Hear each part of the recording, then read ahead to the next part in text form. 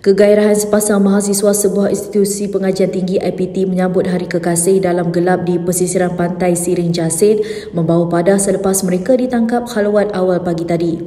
Lelaki berusia 22 tahun bersama kekasihnya 20 tahun itu antara lima pasangan ditahan penguat kuasa Jabatan Agama Islam Melaka JAIM dalam operasi cegah jenayah syariah sempena sambutan Hari Kekasih. Pengarah Jaim Datuk Cik Syukri Cik Mat berkata mereka ditahan selepas dilihat duduk berdua-duaan dalam keadaan gelap dan mencurigakan tanpa mempunyai hubungan yang sah. Cik Syukri menambah dua pasangan lagi dicekup dalam serbuan di dua buah hotel di sekitar Bandar Hilir.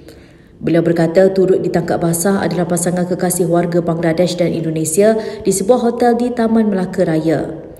Katanya kesemua yang ditahan dibawa ke pejabat Jaim bagi membantu siasatan mengikut Seksyen 53 dan Seksyen 71 Enakmen Kesalahan Syariah Negeri Melaka 1991. Semacam pelik sebagai hari memperingati kekasih, mereka menggunakan alasan bahawa mereka tidak dapat balik ke rumah dan terpaksa bermalam berdua-duaan di hotel berkenaan dengan alasan ialah kerana mereka tidak mendapat grab iaitu khidmat uh, kereta sewa yang telah melalui online oleh bagaimanapun alasan berkenaan itu sebenarnya merupakan alasan dangkal yang tidak patut digunakan oleh mana-mana pasangan sebab sebenarnya maksiat itu boleh dielak dengan pelbagai cara.